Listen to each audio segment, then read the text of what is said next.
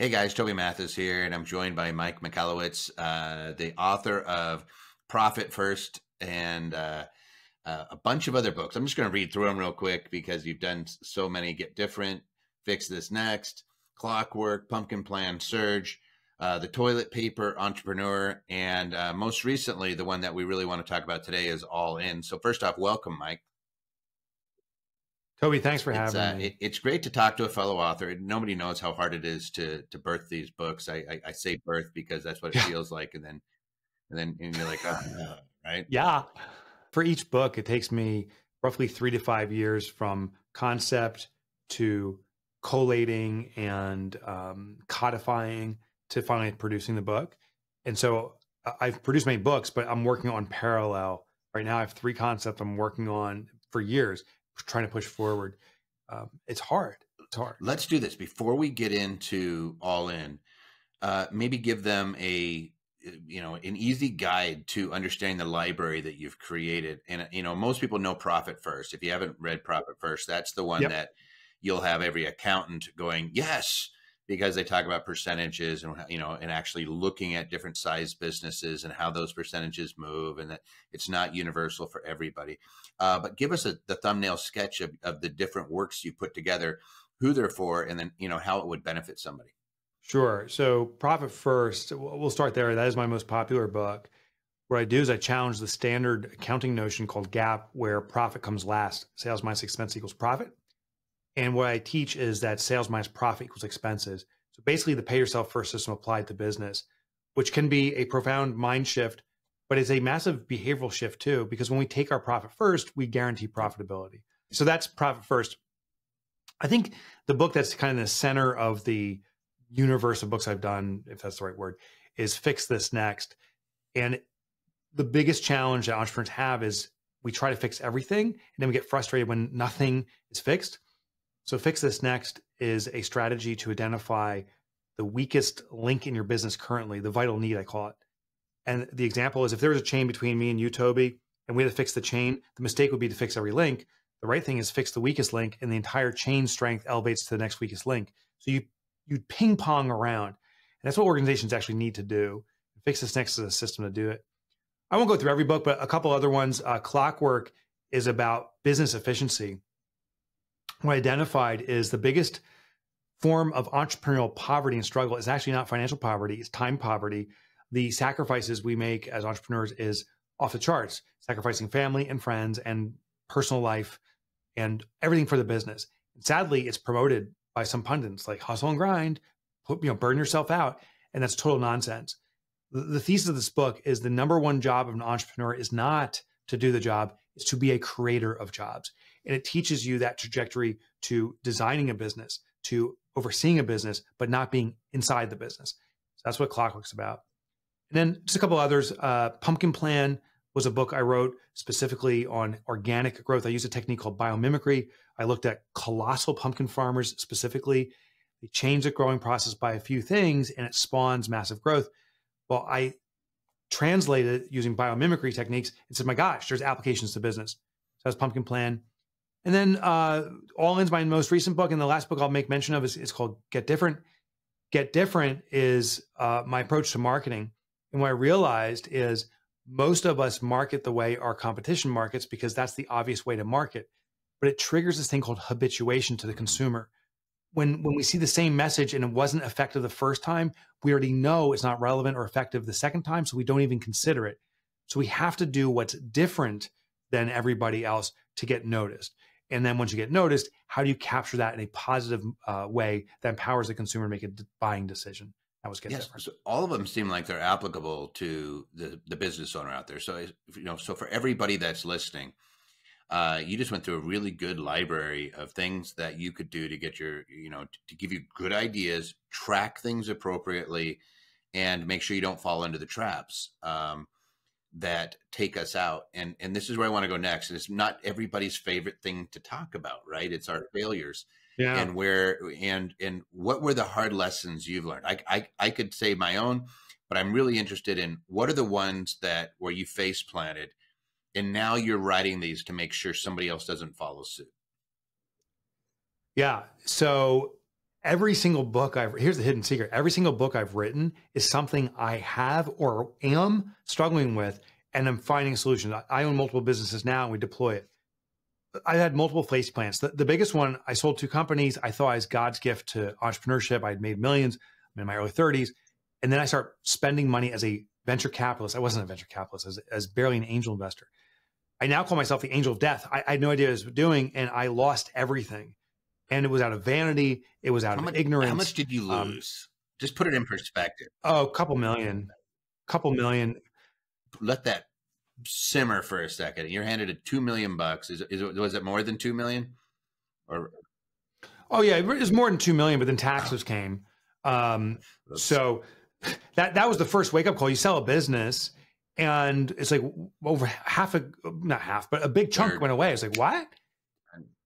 Yeah, third uh, it's a third that goes vanishes. I had no clue, no perception, and I also did another face plant was I was spending before we sold our company. So I in my head I'm like, oh, this is my new lifestyle, and we're just weeks or months away. That got stretched and stretched.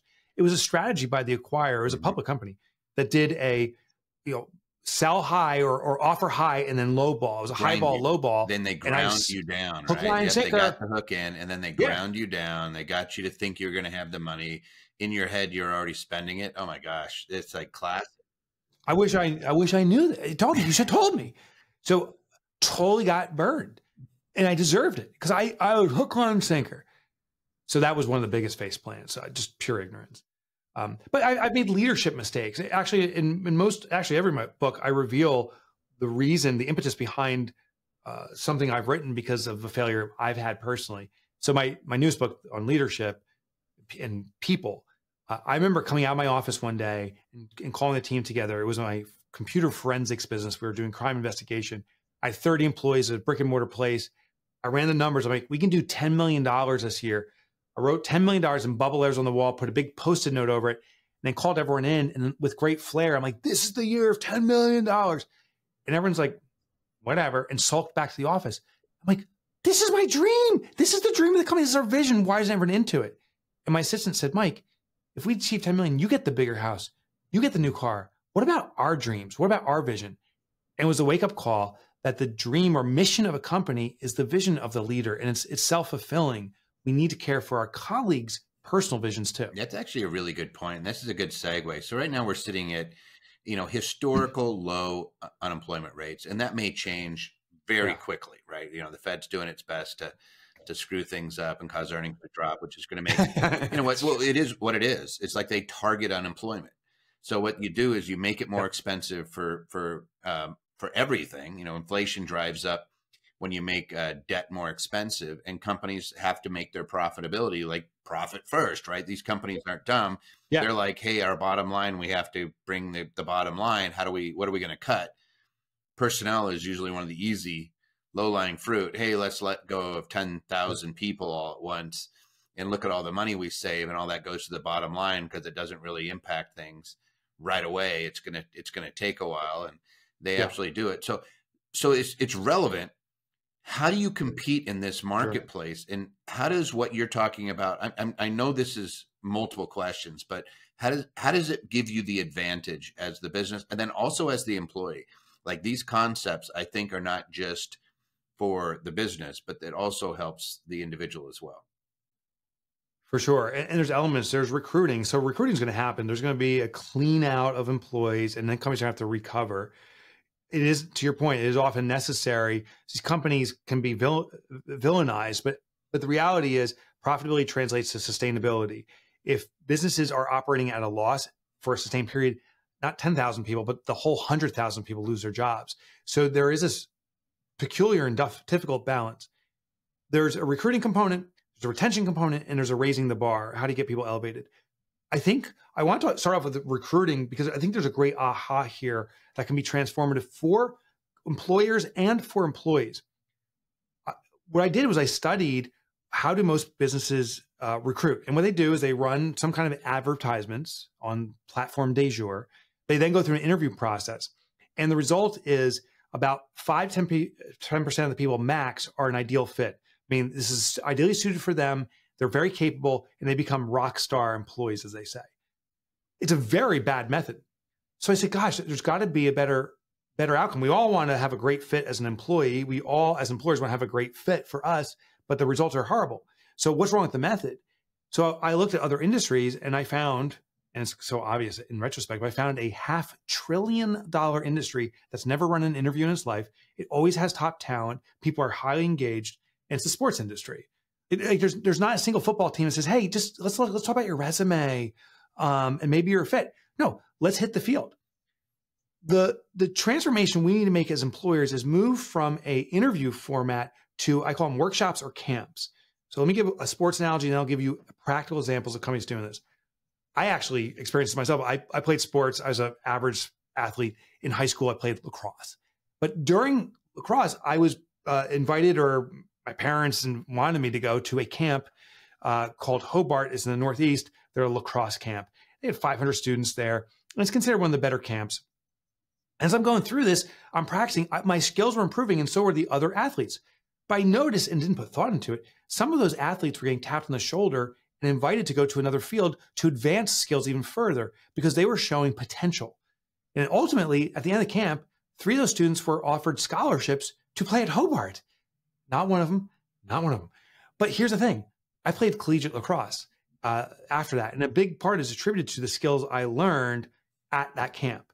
So here's the lesson employers that run educational, experiential events educate and enhance people for the work environment wherever they end up. And the employer can cherry pick and the employee can cherry pick the best fits for themselves right there in that moment. So this isn't a recruiting camp. It's not show me your skills. This is let me educate you. People who want to be educated show desire, thirst, potential, and those people can be cherry picked. Now, here's a real world example. Corporations are already doing this, just not enough. And I think someone listening in can do this right now. Home Depot has a recruiting camp. And uh, what you do is you go to build a birdhouse and they have these ads like, come on, learn to build a birdhouse. They don't say, hey, we're seeing who good candidates are for employment. They say, build a birdhouse. We're like, oh, this is amazing. So we go down, maybe with your kid, and you build a birdhouse. A few things happen. First, you become ingratiated with the stores. Like, this is an amazing experience, and I love Home Depot. Maybe you buy stuff. There's an employee sitting there that's observing the participation of the parents and say, hey, uh, to the right parent, taps them on the shoulder and says, you really showed a lot of potential here. You, you were helping other parents and stuff. You're the type of candidate we love having work at Home Depot. Would you have any interest? It's a recruiting platform. So the tip for your listeners here is run educational workshops. They can be virtual or in person and observe your students to cherry pick the best student. And if you don't want to run a workshop, if that's too much, simply attend a workshop. I'm looking to hire a bookkeeper. I'm not going to run a bookkeeping workshop. I, I have to hire someone to do that. It's too much. I'm going to a class for bookkeepers as a student, but what I'm really doing is observing the other students to identify the person with the most potential. Can you do that virtually? You can do it virtually for sure. And you're not restricted to the recruiting pool of people who are looking for jobs. This is educational. So you're now open up to anyone seeking education. We worked with a uh, preschool that was looking for new site directors, and I won't go into technical details. They reached out to other preschools and said, Hey, we're having a training session for site directors. If you have a preschool teacher that is interested in this and you want to support them in this trajectory, we're teaching them. And by the way, we're charging $100 per student. So the competition sent their preschool teachers and paid for it. This event was educational, but we simply observed and we cherry picked people and said, wow, you, you could be a site director. We have a job opportunity. They were integral. They said, if, if you like your current employer and they have a job, go for it. But if you want to grow into this and there's no opportunity for you, we surely have one. So it became a recruiting platform. The last thing I want to share is every single person gets better during the process hire them or not, everyone's learning skills along the way. Wow. Uh, can, can, you give more examples of how this might, like, I love the concrete real life examples. Oh, I can give you countless. So, okay, so I'll give you two more. I'll give you a big company and small company. Big company was Domino's Pizza. Domino's Pizza during the uh, COVID pandemic created an app called, I think it's called Pizza Hero. What you could do is you could design a pizza. You could lay out the pepperoni in as a smiley face or circles, or whatever. When you push submit, it would make an order for your pizza and get delivered, which sounds like, wow, this is cool, fun experience, and I can do whatever I want, and I'm buying. They were observing to find chefs. Here's what they did they noticed that some people would spend more time on the app. Some people are spending a half hour designing the perfect pizza. They were surely showing a high degree of potential intrigue and interest, at least in the video game. So they said, Hey, we noticed you spent a lot of time working on the pizza. Are you interested in coming down to one of the Domino's stores? We'll show you how to make your own pizza. And that became the next measurement. They hired over 500 uh, chefs or cooks out of an app by doing a class. Uh, I'll give you another big world example. Uh, Audible, who makes you know audiobooks, they're doing a thing not called internships, but returnships. They're approaching people who've left the workforce for a period of time due to illness or whatever it may be the reason, and are looking to re-enter the workforce, but have a gap of, of a few years or a decade and need to get up to speed. You can go to Audible and learn what current professional standards are, what new technology is, and they'll teach you the process. I think it's a 12 week program, so you really get to learn a lot. And during the process, they are observing and cherry picking people who are fit for Audible. So again, educate to identify. I'll, I'll give you one last example just to give you tons of stuff. There was a bookkeeping firm in New York. Uh, the owner, her name is Tuesday Brooks. And I was talking with Tuesday, and she said it was really hard in this environment. This is really recently to recruit people. There's no one available, and no one wants to be a mm-hmm. bookkeeper. So she said, I'm going to approach uh, a, a, university offshore. She happens to be uh, from uh, Nairobi, Africa, I think it was, from Kenya. And she teamed up with a Nairobi university. And what they did is they put on a workshop that she created around bookkeeping skills. She then, with the adjunct professor that was there, she remotely gave the class through recordings and then asked the adjunct professor identify which of these students are the most engaged. Potential always comes out through engagement, desire, thirst. By the end of the course, she hired three bookkeepers. They're rock stars for her, the best bookkeepers. But my favorite part of that story is the other nine students that went through it all have become employed as bookkeepers. So everyone all of a sudden they said, "Hey, you know what? Uh, maybe this is something." I mean, sounds like they actually taught him the skill. Did did the nine come work for for her, or did they go work uh, in just in bookkeeping field? The booking field. So she hired three. She cherry picked the best fits for her.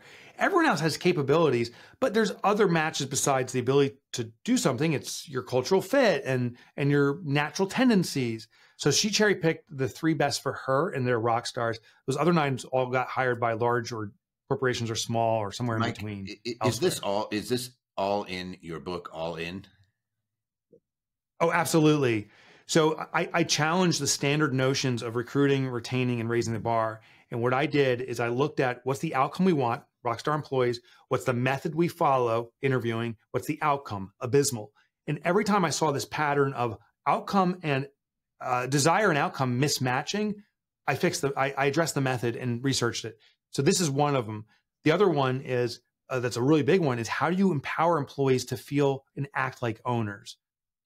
I would like to d- dive into that. I used to have a phrase here: uh, ownership isn't doership. You know, you can own a project, you don't have to do it, and you're trying to get because uh, not to relate this to, to my business, but it's the way I understand things. Is you're looking at folks that may not be have a necessarily skill set to do something, but you still want them to feel like they own the project.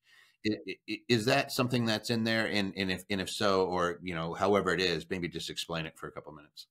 Yeah, it's absolutely in there. I, I devoted a, a, big portion of the book to this because it's such an important principle. What I found is there is a distinct difference in behavior between legal ownership and psychological ownership. And if you want someone to act like an owner, including yourself, it's only psychological ownership that wins. So, quick example legal ownership. I own some stock in mm-hmm. Ford. I drove by a Ford factory a few days ago and I looked over it and I did not say or feel, oh, I own a few bricks in that building. That's, that's my Ford. Go for it. No, actually, I felt entitled. I looked at the factory and said, where's my dividend check? The values better go up. Legal ownership eh, alone results in a form of entitlement. There's an expectation. This is my possession. You owe me. Psychological ownership is an identifi- identification alignment. My identity is part of the object. So, how do you invoke psychological ownership? There's three things that always trigger it. First is the ability to personalize. So, I have a Ford truck, is, is the car I drive, and uh, I am able to program the radio stations my way. I can put a bumper sticker on if I want and hang dice from the mirror, uh, the rearview mirror. I decide. That personalization makes me uh, have a closer affinity. The second thing is intimate knowledge. The more detail you know about something, I know what every button and thing does. I know inside now. I read through the whole manual the day it pulled in the drive. I was like, I got to read this whole manual. So I have intimate knowledge. And the last part is control. I decide when I drive it, where I drive it, where I park it, and so forth. But here's the irony: I don't have legal legal ownership. I have bank notes I'm paying. I, you know, the bank owns it until I make my final installment.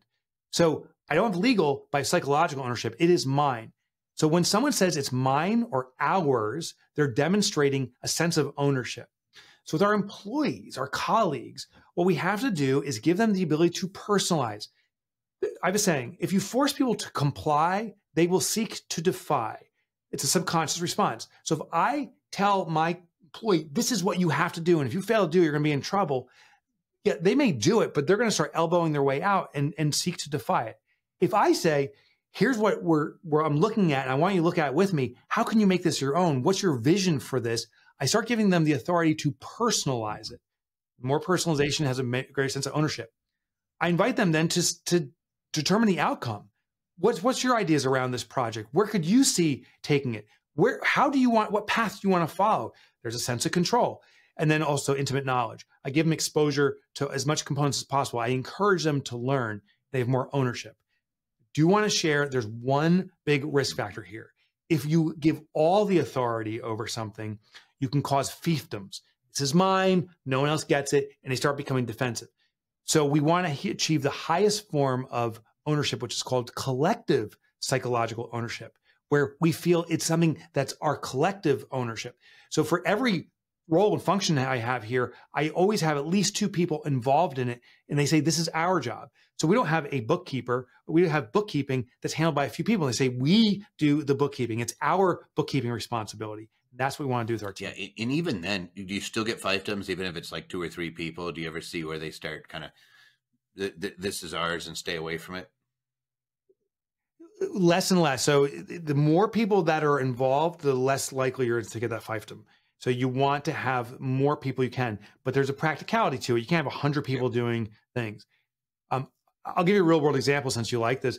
Uh, there was a smokehouse in um, Texas, a barbecue house in Texas, and uh, the owner had an employee who was a C player, as the and I hate mm-hmm. these labels, but that's a common label. Ill performer, didn't show up on time, and so forth. The owner, Stephen, deployed psychological ownership with Joel, who is this employee, and he started off slow. This is the first tip. Joel was not performing well at all. So what he did, he said, "Hey, there's a straw box on the bar there, and every time someone takes a straw, it explodes everywhere. Um, I want someone to take ownership over this would you be interested? What's your thoughts? Uh, how can you make this to your standard? Personalization, ownership. And Joel's like, yeah, yeah, sure, I'll take it. And, and here's how I see it. Well, the, the, the straw box now is ordered and organized perfectly. It was Joel's straw box. Fast forward a few days later, it became the bar mat. By the end of the week, he was also doing the cooler. It did take a few years, but Joel now has control or he manages the restaurant. He is their number one performing employee. And to me, it was profound. A C player goes to A player. So I called him up. I said, Joel, why did you do this? How did you become so good? And he said, Steve, the owner, didn't know my background, but I, he goes, I, I had a pretty tough background. My parents told me I was worthless and that I would never own anything. Here's the first guy that was empowering me because I feel so empowered here. He's like, I'm in with this smokehouse for the rest of my life. I will do anything for this company. That's the power of of ownership. That's pretty extraordinary. Now, now let's flip it on its ear a little bit, because because uh, we're talking about it from the ownership standpoint. Uh, you know, from people that own their businesses. What if you're an employee out there? How can you use these principles yeah. to benefit yourself? Well, uh, one of the things that we need to take ownership over, and we have to work collaboratively with our team and the leaders, if you will, of our team, but it becomes the most empowering thing, is personal vision. So here's a lesson. I, I came out of my office. I say, here's my vision. We're going to do $10 million in revenue. I had this great, glorious announcement. My employees are looking at me when I'm making this announcement about the vision of the company saying, well, Mike, that's, that's your dream. What about us? I remember my assistant saying, if we achieve 10 million, Mike, you get the bigger house and the new car. Why should we care? What about our visions? And that was the aha. It's like, I am an idiot. My colleague, Amy, uh, is fighting cancer uh, and she's cancer free now going on her fifth year. And she said, This is the most important thing in my personal health right now. Another person here wants to buy their first house. Another person wants to learn how to start playing guitar. dreams can be of, and visions can be of all different sizes, but they're all significant and important.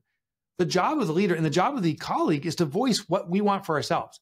Then what we do is start building groups amongst your team. So you're employed by a company, talk with other colleagues and say, hey, why don't we meet once a week and talk about personal vision? Start empowering each other. When you start rooting on your colleague, they'll start rooting you on. And it now becomes a brand, I was gonna say a band of brothers, but a band of brothers and sisters locked arms and we're walking together. When I realized this, even you know, for my own business, that $10 million, that's my personal dream. That, that, that satisfies a part of my big fat ego. But what matters to everyone else is just as important to me. And when every employee starts looking at each other's visions and dreams and plans for their lives and sees that as equal importance, we all start stepping forward. So as, as an employee, start having those conversations today with your team, with your friends, with your colleagues That's, at work. uh, that's pretty profound, and I can say hundred percent I agree with you, and it's been my experience too. And every time we see Hmm. personnel issues and things like that, it's usually a deficiency at the top. You know, we, we- it's fun to blame everybody else, but uh, a lot of times you got to go look in the mirror and say, "I'm the." Uh, it's it's on me. It's tough. It's tough. I've had to face myself in the mirror. So, and, and I, I think I'm such a benevolent leader. I'm so nice and caring, but there's these blinders, this ignorance I have. And um, I, I realized I was steadfast in what I wanted and assuming that people would align. I'll share another thing that employees can do and, and leaders can do. And it's this concept of culture. I was a big believer that when I started my organization, I'm going to define the culture. And if people fit the culture, you're a fit. And if you don't, you shouldn't be part of it. And now I've concluded that is the wrong move. What happens is a siloing effect. So I have certain rules. And when I get people that follow the same kind of rule set values, then I get an echo chamber of my beliefs. I've now discovered that it's actually diversity. People have different opinions and different values. Maybe they, uh, hopefully, we all agree with the mission, what we're trying to do as an organization, but we all have different approaches. A great leader will encourage differing opinions and engage everyone. And so what happens is instead of culture, we build something even greater, which is called community. And community happens naturally. The town you live in, stuff, the more diverse it is, the richer the community becomes. And so in an organization, the more diversity we have, the more we encourage differing opinions and different vantage points naturally builds a stronger community. That was a big aha. That's me. really interesting, and I, I, I I'd love to sit here and chat with you on this all day long because there's so many things that apply to right Mm. now what we're going through as a country and everything else, and and how Yeah. we break out of our silos because uh, we definitely echo chambers and silos sounds uh, very much like what's going on in the U.S. But this is about your book. This is truth. about all in. This is about you. Um, how does like I'm assuming just type it in and go to Amazon and and, and get all in. Uh, but uh, where would somebody I, like? I went to your site and I ended up downloading a bunch of other materials that came along with it. Oh, thank I- you. Is that what you would encourage people to do? Yeah, I would start there. I mean, by all means, you can get Amazon, your favorite bookstore. Um, but if you go to, well, there's two sites I'll give you. All In by Mike, that's the book site. So if you want specifically strategies, I have free strategies just so you can get started the second. But my website is mikemotorbike.com. Now, my name's Michalowicz. No one can spell that. Mike Motorbike is a nickname back from grade school. That was the only PG nickname I ever had. And at mikemotorbike.com, you'll find book downloads. I used to write for the Wall Street Journal. I have a podcast. It's all there at Mike Motorbike. Perfect. Well, I'm going to encourage people to go do that. I want to say thank you, Mike, for sharing with us. Uh, you know what? Uh, I just like talking to other business owners that get it and are always looking to get better. And I, I think you just really brought it. So I just thank you from the bottom of my heart for sharing this with everybody. That means the world to me. Thank you for saying that.